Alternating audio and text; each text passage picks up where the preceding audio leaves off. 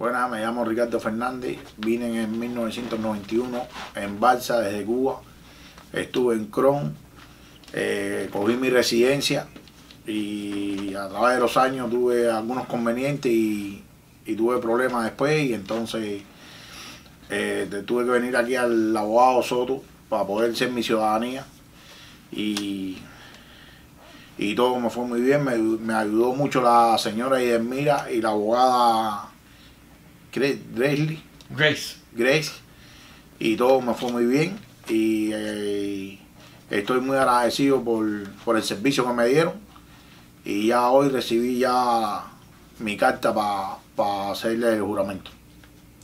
¿El examen de ciudadanía lo hizo en inglés o en español? El examen de ciudadanía lo hice en español por el tiempo que llevaba aquí y la edad.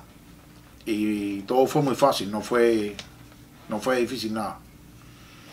Tuvo que presentar evidencia adicional, ¿verdad? Para Sí, tuve que, me pidieron muchas evidencias como los incontados, eh, a dónde vivía, si vivía estable en una dirección, el eh, trabajo, los hijos, la, los papeles, los certificados de nacimiento de los, niños. ¿Para usted era importante hacerse ciudadano?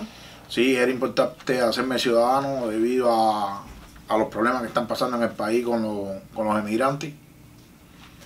Y ya hoy ya es un peso menos que tengo arriba. ¿Y va a poder votar también? Y ya voy a poder votar. Voy a poder votar y elegir la, a quien yo quiera.